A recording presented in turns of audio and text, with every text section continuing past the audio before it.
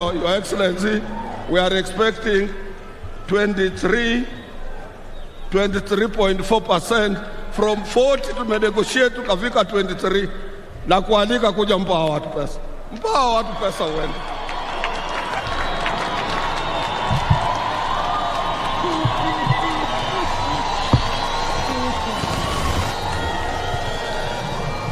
Asante sana ndugu Atuoli, tafadhali tuketi. Nashukuru sana. Hamjambo nyote, hamjambo tena.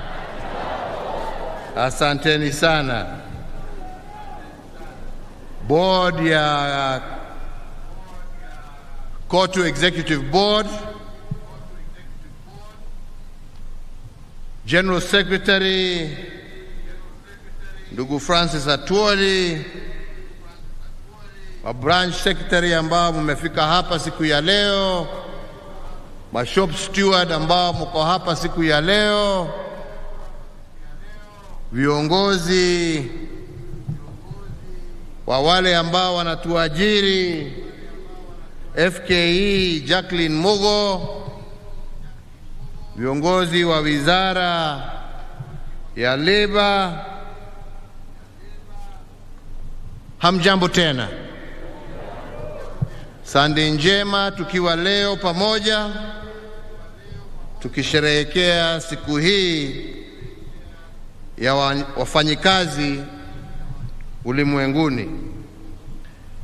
Na nianze kwa kusema ya kwamba I am really very delighted to join the workers of Kenya and indeed the world at large in marking the International Labour Day. On this day, we join workers across the globe in celebrating the dignity of labor, honoring and paying tribute to your resilience, and most importantly, recognizing your critical role in our plans to build back our country stronger and better after the COVID pandemic. As we mark this occasion, we again affirm that our efforts to cushion workers against COVID 19 did offer relief to millions of Kenyan households. Many may recall that at the height of the pandemic, we took necessary action to reduce pay as you earn for the lowest workers in order to avail more income to our workers across the country. We took action to reduce VAT on many of our essential products, amongst many other actions, and all this aimed at trying to ensure that a global pandemic did not impact too negatively on our citizens. And today, I want to begin by thanking Brother Francis Atwoli for acting as a faithful steward and partnering with my administration in promoting the interest of workers. Our workers are the backbone of our economy. You are the backbone of our way of life. And indeed, throughout the COVID 19 disruptions that began in the year 2020, today we celebrate our, face, our first face to face celebration since the onset of COVID. And we celebrate you, our workers, who have kept the Kenyan flame burning bright. And indeed, for that, as a country, we shall remain forever grateful and indebted to all of you for your genuinity and your support in a very difficult time. Today again, we convene at a unique time in our history a history of our region and a history of the world. Globally, efforts to build our economies back after the COVID 19 pandemic have been slowed down by a myriad of events on the global scene which have put our multilateral system under undue stress. We all know that from the onset of COVID, and as the world was trying to recover, new geopolitical actions have interrupted our recovery path, matters that have been well beyond the capacity of many nations, especially developing nations, across the world. We as Kenya are still a young nation. In fact, as I have said repeatedly, we as Kenya are a work in progress. And like everything else under construction, a nation building is not and can never be an event. It is a process. A process that needs patience, a process that needs perspective, a process that requires sacrifice, a process that requires persistence, but above all, a process that requires and needs positive energy.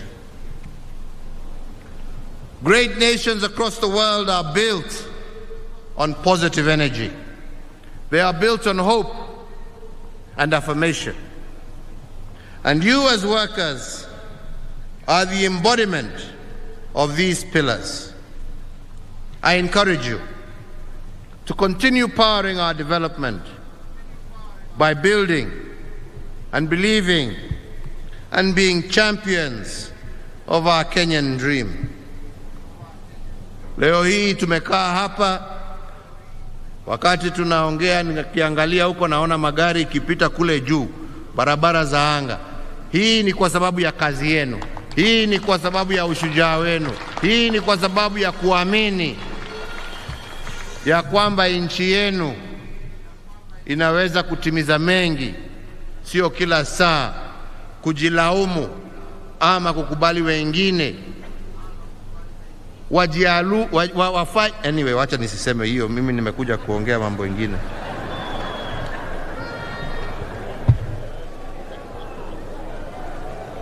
Because Kenya is still a work in progress, allow me to focus on two things that I consider to be right with our country. And I believe the first has to do with opportunities created by our economic transformation as a nation.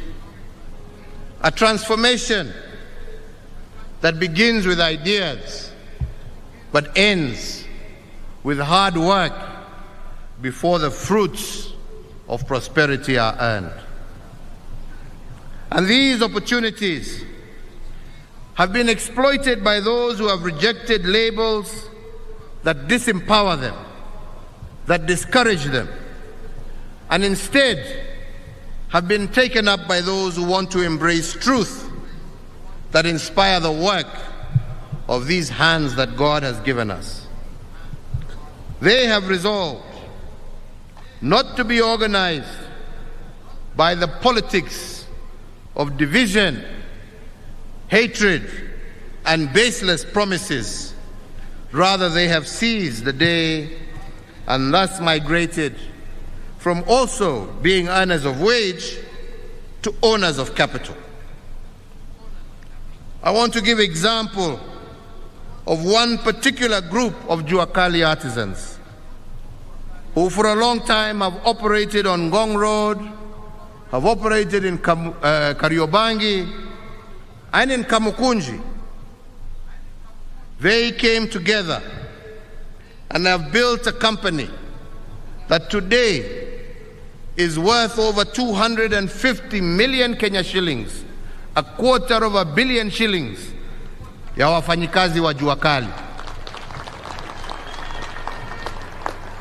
And they have been able to do this because they believed in their own capabilities and not in difficult and empty political promises. And this is what should inspire us all, and in particular our young people. And I want to tell you how they did it. When my administration rolled out the affordable housing scheme under our Big Four agenda in 2019, a group of Juakali artisans from these areas came to see me and said that they wanted to be involved in that agenda. And we contracted them to make doors for the houses that were being built for one of our projects. And as they executed this contract, they decided to form a company that would receive their payments. And they formed Ngoko Kamaka Limited, which is a name drawn from where they used to operate along Ngong Road, Kamukunji, and Kariobangi. On completing their task of building those doors just for one estate, this group of Juakali artisans bought 55 units of the houses of whose doors they were making, and in two years, they have moved from an ad hoc Juakali entity to a formal business entity which has the requisite credit worthiness to take large loans from banks. Today, this Juakali group is worth over a quarter of a billion Kenya shillings because their focus was right and their understanding of where Kenya is going was correct. There are other examples of positive energy. As many shouted and screamed at the height of the pandemic, as opposed to helping us find solutions, we came up with a Juakali initiative to take into account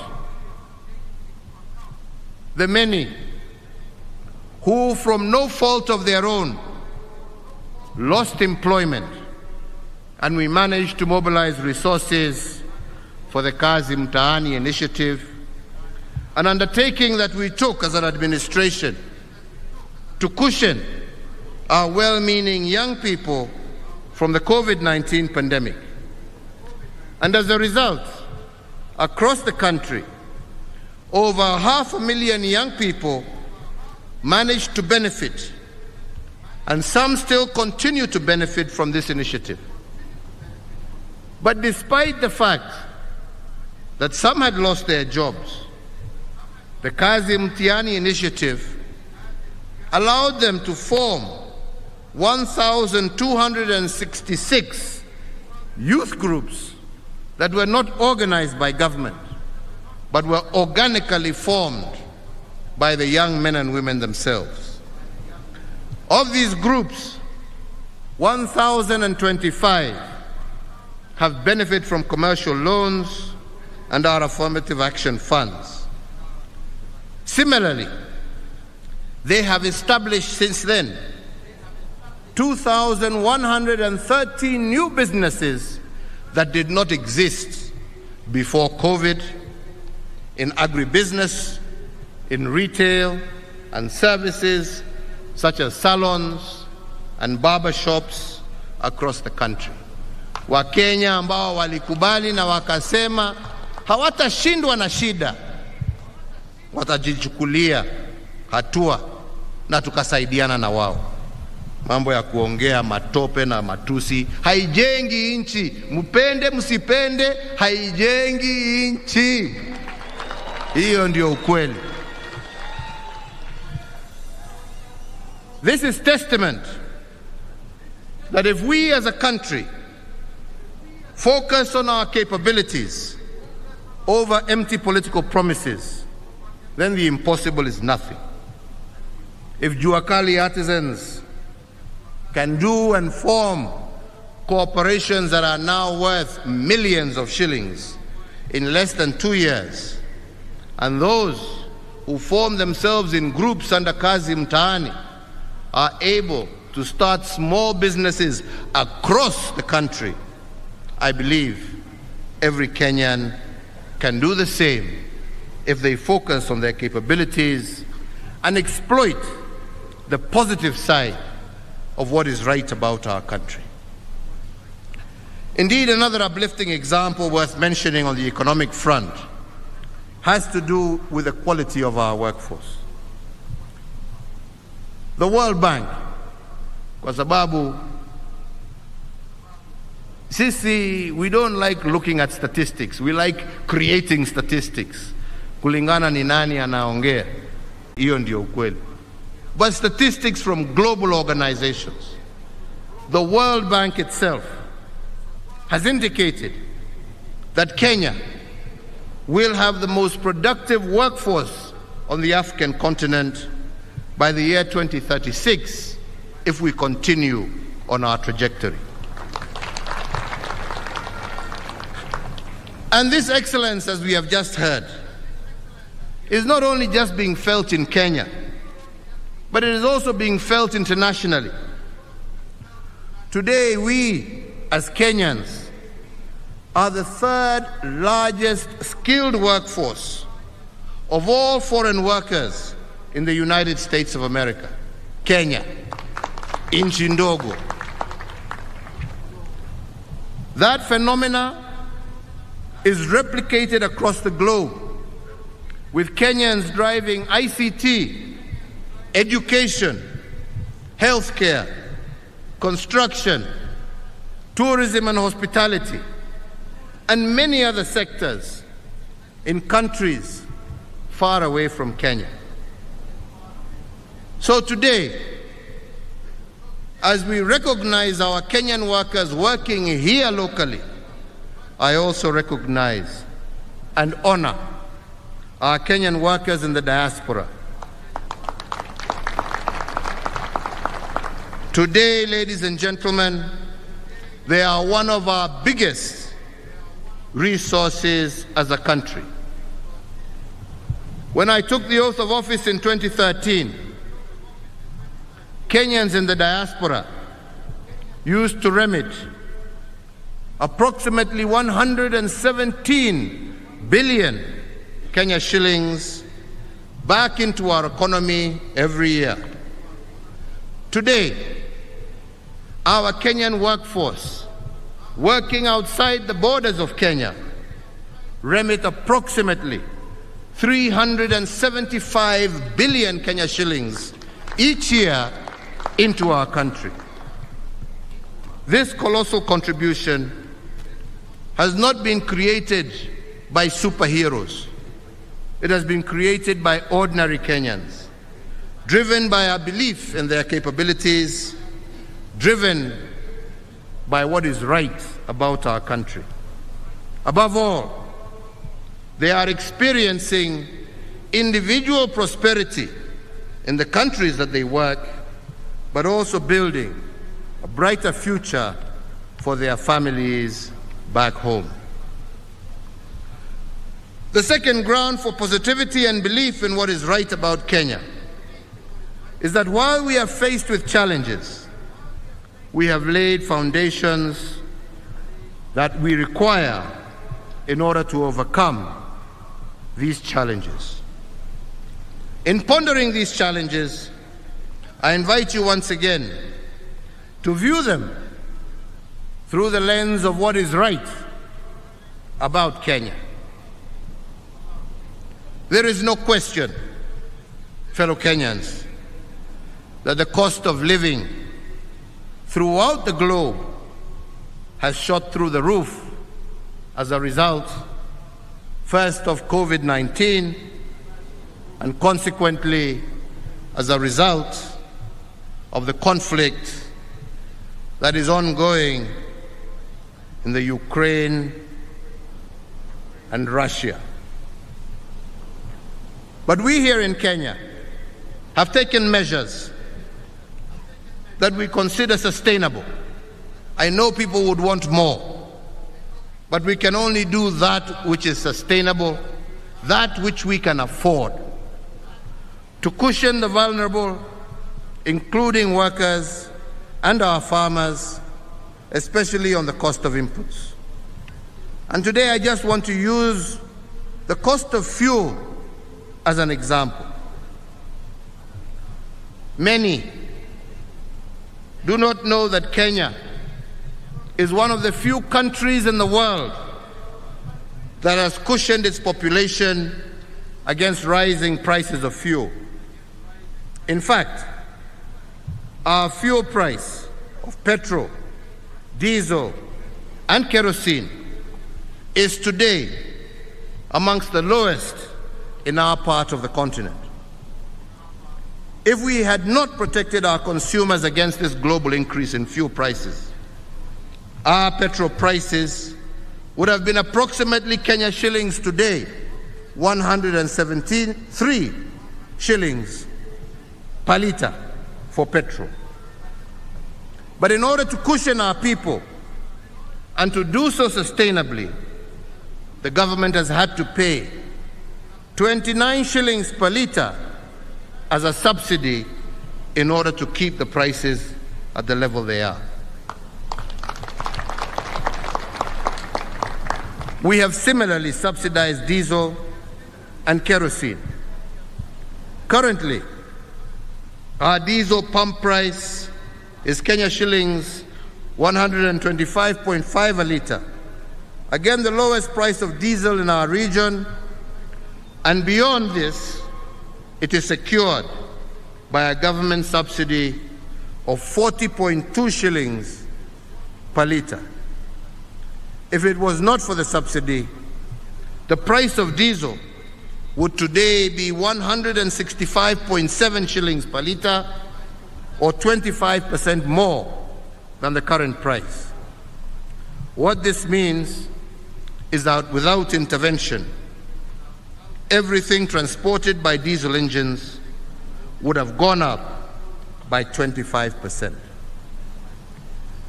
Na hapo nitasema kwa sababu Madam Mugo yuko hapa, na nashukuru vile umesema ya kwamba hii ni partnership na ni partnership ya wale ambao wanaajiri, ya wafanyikazi wetu na serikali. Lakini ni hatia kubwa sana kwa wengine kuchukua pesa, kwa sababu hii pesa ya subsidy sio pesa ya Uhuru, ni pesa ya hawa wafanyikazi ambao wametoa kwa kodi, na ikiwa wengine wenu mtatumia hii subsidy na badala ya kupatia Wakenya mafuta mnaenda kuuza hiyo mafuta kwa bei ya juu kwa nchi ingine, tunawaona na tunawaangalia na tutawachukulia hatua, kwa sababu hii ni pesa ya Wakenya, ni kodi ya Wakenya, na hamwezi kutuambia na mtuambie hatuna mafuta kwa stesheni zetu, na tunajua hiyo mafuta mnauza kwa nchi zingine nje, mkitumia ati ndio mtengeneze faida huko badala ya kurudisha benefit kwa wananchi wa Kenya. Please tell your people it is a partnership. We must work together and we need to benefit our people through our taxes and through our sweat. Yetu siyo ya kusaidia nchi zingine, yetu ni ya kusaidia wananchi wetu, na hiyo ni ukweli wa mambo na mtaiyaona tu. Fellow Kenyans, although the cost of living has gone up because of global reasons, we must also appreciate our local solutions and the strong foundations that we have laid. And this is what I am calling positive energy. On account of the various economic stimulus packages rolled out by administration over the last two years, we have helped to cushion not resolve, to cushion, because we can only do that which we as a nation can afford. And we have helped cushion our families to cope with the challenges arising from shrinking opportunities as a result of the COVID 19 pandemic and other global issues that are well beyond our control. And indeed, I am proud to say that unlike the private sector that declared redundancies that led to retrenchments, we in the public sector maintained our COVID, our, workforce at pre-COVID levels. Hakuna mwalimu, hakuna mfanyikazi wa serikali, hakuna askari ambaye alifutwa kwa sababu ya ukosefu wa pesa. Watu wetu wote waliendelea na kazi zao bila kukatwa mishahara vile ilikuwa inaendelea katika nchi zingine. Na hiyo ni ukweli wa mambo, watu wakubali wasikate ukweli wa mambo. Wewe ulikatwa mshahara?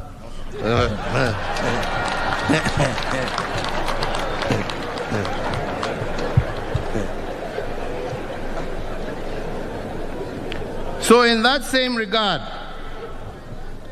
I equally call on the private sector as key partners of the state in our journey of economic development.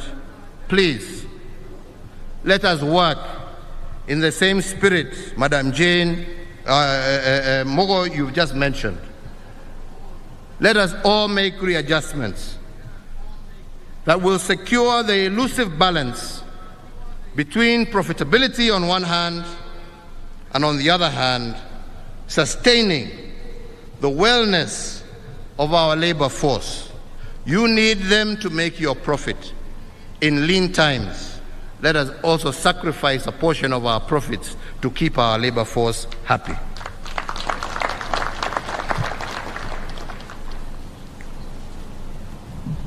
Kwa hivyo nikija kumalizia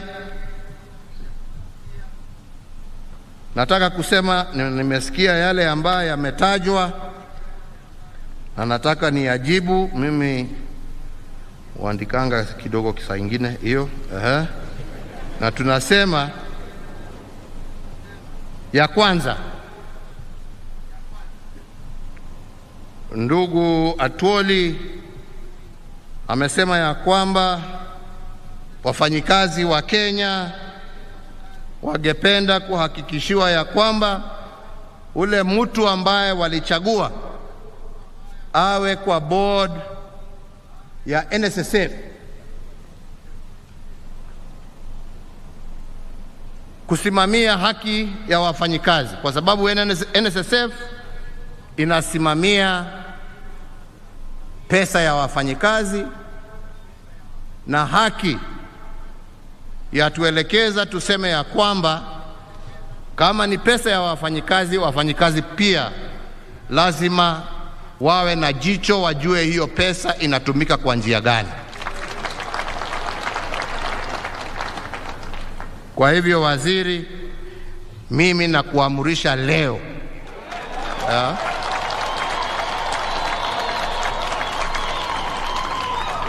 ya kwamba hii sikukuu ndefu ambaye Mwenyezi Mungu ametupatia ikifika Wednesday, mi nataka kuona gazette notice ikiweka huyo mtu kwa kazi. Agreed? Na hiyo ni amri, sio, sio, sio maombi yake. Ilikuwa maombi, yangu ni amri yeah. Si ni namna hiyo? Ya pili, umesema ya kwamba kwa bodi ya NHIF ile sheria ambayo iko imenyima wafanyikazi wa Kenya haki ya kuwa na kiti katika hiyo bodi. Wajumbe wako ndio hawa, nawaona na waangalia. Maina Kamanda namuona namuona e, e, e, chief whip hapo Eh, nawaona nawaona wengine eh, madam yuko hapa wa Nairobi, ah, dada yuko pale. Hebu simameni wa mwao, eh, muonekane. Haya, ongea na watu yako, hawa ndio watu yako. Sheria ni yao, wakipitisha mimi nitaweka kidole eh? Si namna hiyo, kila mtu na kazi yake jameni, ama ni namna gani? Ya tatu umesema ni mambo kuhusu SRC. Ah, tuoli my friend. Sasa mimi na ndugu Raila tulimenyana hapa, tukazunguka nchi hii, tukasema tupatieni nafasi hapa tubadilishe hii katiba. Kuna vipengele vipengele ingine ambayo inasumbua Wakenya. Nyinyi wenyewe mumeangalia, sisi tumetoa jasho tukitafuta, wengine wamesema hawataki. Nyinyi mtajibu hiyo kwa uchaguzi ambaye inakuja.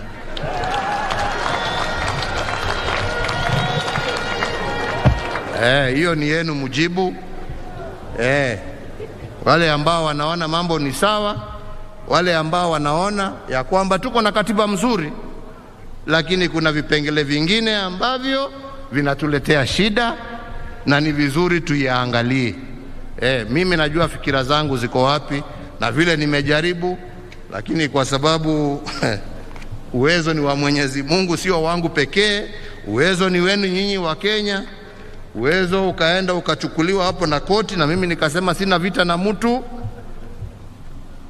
Mtaamua hiyo kwa uchaguzi. mtaamua vipi jameni? Mnataka tubadilishe hii tutengeneze, ama mnatakaje? Nataka kuona kwa mikono ni wangapi wanasema tunataka tutengeneze na ndio haki ipatikane. Hey. Ama ni namna gani wenzangu? Hey. Tusije tuwe watu ambao ni wadanganyifu. Na wacha niwaambieni, hakuna kitu ngumu kama wakati nchi na dunia mzima iko na shida mingi mbali mbali, shida ambayo inategemea viongozi, shida ambayo ina haja na viongozi. Kuwa wanakaa, wanaketi, wanajadiliana kwa sababu ya vile mambo yalivyo magumu. Na mimi nawashukuru wa Kenya kwa sababu mambo yamekuwa magumu, sio tu kwa nchi yetu.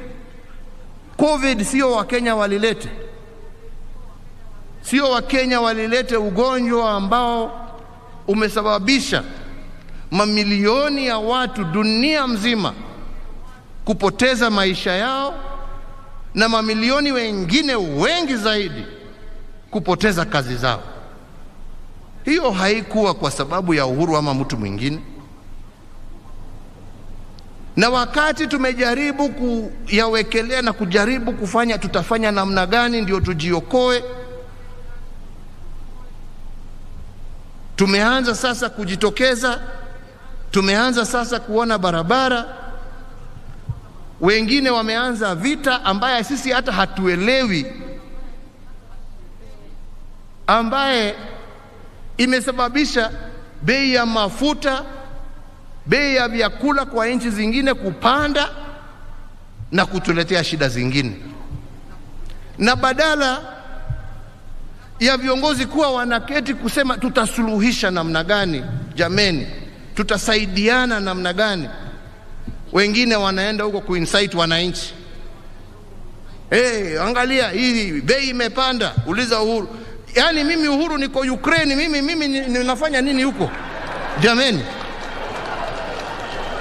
eh?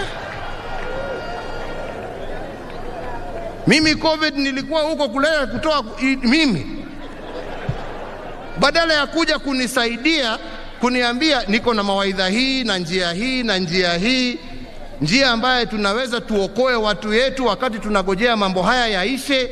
Wewe uko kwa soko na matusi, na wewe unajiita kiongozi na una, unajiita ati wewe ndio sijui namba ngapi katika nchi ya Kenya eh? Uko wapi? Badala ya kunisaidia kuondoa hiyo shida, wewe uko kwa soko kusema ulizeni ule. basi si ungewacha uniwachie mimi nitafute mtu ambaye angenisaidia jameni eh? Tuambiane ukweli jameni. Mimi wakati unafika, lazima watu waambiane ukweli eh? Wewe unajua hii shida siyo ya mtu, hii ni shida ya um, uko wapi wakati mimi nakuhitaji eh? Na ndio mimi nashukuru huyo mzee, huyo mzee at least hata kama alikuwa na mambo yake alikuja kunisaidia eh. Na hiyo ndio ukweli wa mambo na alijua hii siyo shida ya mtu, ni shida ya nchi, ni shida ya ulimwengu. Tutasaidiana njia gani ndio tuokoe wananchi wetu? Matusi ndio nawaambia, and empty promises take you nowhere, but hard work, the labor of your hands. Na hiyo ndio Mwenyezi Mungu alitufundisha, na hapo ndipo tulipo. Kwa hivyo, Wakenya wenzangu, recognizing because of all these challenges that we have not had a review of the minimum wage over the last three years, further acknowledging the increased cost of living with inflation currently hovering between 5 and 6% annually. In that regard, and in full appreciation of the critical contribution that our Kenyan workers have made to our economy during that very difficult time, as a caring government, we find there is a compelling case to review the minimum wages so as to cushion our workers against further erosion of their purchasing power while also guaranteeing the competitiveness of our economy. And in that context, I today declare an increase of the minimum wage by 12 percentage points.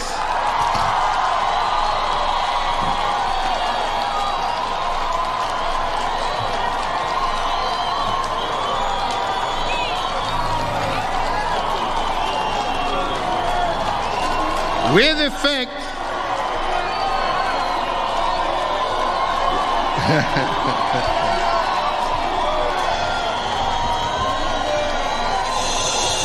with effect from the 1st of May 2022, yani leo. And finally, fellow Kenyans, let me take this opportunity to thank our ministry, to thank COTU and our stakeholders, and at the same time, congratulate the Honorable Gilbert Houngbo, former Prime Minister of Togo, on being elected the first African Director General of the International Labour Organization. Through our ministries of labor, foreign affairs, and through our organization, COTU, Kenya was at the forefront in lobbying for this appointment, and it is indeed my earnest desire that he will work towards placing our African labor movements on the global map. I wish you all, viongozi mukirudi kwa wafanyikazi wenzenu, muwaambie a happy Labor Day. Shukurani nyingi kwetu sisi zote, kwa wao, kwa vile wamejitolea miaka hiyo ya ugumu, na hakikisho ya kwamba tutaendelea kusaidiana pamoja kuhakikisha tumeimarisha uchumi wetu wa nchi yetu. God bless you all na Mungu aibariki na ailinde Kenya. Asanteni sana. Asante Asanti sana Mheshimiwa Uhuru Kenyatta, rais wetu wa Jamhuri ya Kenya na amiri jeshi mkuu wa majeshi ya ulinzi. Ni hongera kwa kuweka miundo msingi na hata mazingira bora ili wafanyakazi wetu waweze kuendelea. Nitaomba sote sasa tusimame wima, walio na kofia ambazo si rasmi tuweze kuzitoa ili tumalize kwa wimbo wa taifa wa Jamhuri ya Kenya tunapomaliza sherehe ya leo, tukiongozwa na bendi yetu ya askari wetu wa utawala na kwaya za Muungano. Wimbo wa taifa.